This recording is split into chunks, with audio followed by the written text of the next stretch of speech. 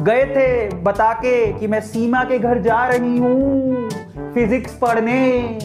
आप सीमा के घर नहीं गए, सीमा से, सीमा के घर से सारी सीमाएँ लांग के आप समीर के घर पहुँच गए। नहीं। नहीं।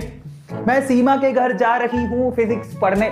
फिर सीमा के घर से सारी सीमाएँ लांगते हुए समीर के घर पहुँच गए। है ना? तो that that is a fair कल को आई कल को माँ बाप को पता लग जाए तो उन्होंने सीमा को फ़ोन कर लिया। सीमा?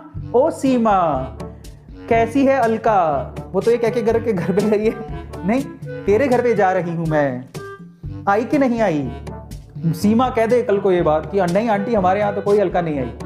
उसके बाद जो बैंड बजेगी, सोचो क्या, देखो कुछ भी हो सकता है। सो इन दैट केस माँ बाप को चिंता हो जाएगी कि आप गए कहाँ।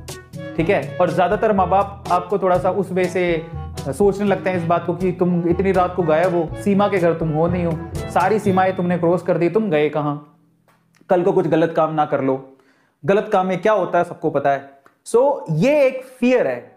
और आप आप एक सीमा लांग के कोई काम करने जा रहे हो तो दैट इज़ रॉन्ग थिंग ठीक है? तुम्हें शुरू में थोड़ा सा ऐसे फील होगा आज़ादी type but that's not a good thing ठीक है? जो भी करना है खुल्लम खुल्ला करो बता के करो। ठीक है?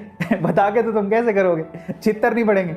बट तुम बताओगे तो तुम्हें अब होता क्या ना माँ बाप का फियर ही इतना होता है। पर बेटर ये है कि अगर आपके माँ बाप के साथ दोस्ती है तो वो रिलेशनशिप बहुत अच्छा है। कल को आप ऐसा कुछ करने जा रहे हो कि नहीं नहीं, मैं तो आज समीर के साथ हूँ, पढ़ने वाली हूँ।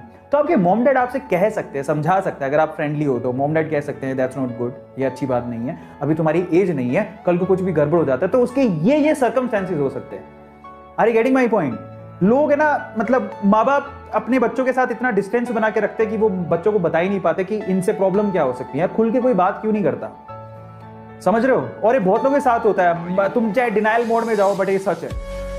तुम इसको मानो, नहीं मानो, मैंने खुद ने अपनी आँखों से देखा है। मैं क्या ही बताऊँ? तुम भी अच्छे से जानते हो, तुमने भी किसी ना किसी को ऐसे करते देखा होगा। और फिर उसके क्या, उसको तो पता भी नहीं था। कैजुअली लिया जा रहा था सब कुछ। रात में झूठ बोल के चली गई कि मैं, या चला गया कि मैं उसके घर जा रहा हूँ या उसके घर गए किसी और के घर। कल को कुछ ऐसा फिजिकली गड़बड़ हो गया और उसकी वजह से कुछ बड़ी लेवल की चीज़ हो गई।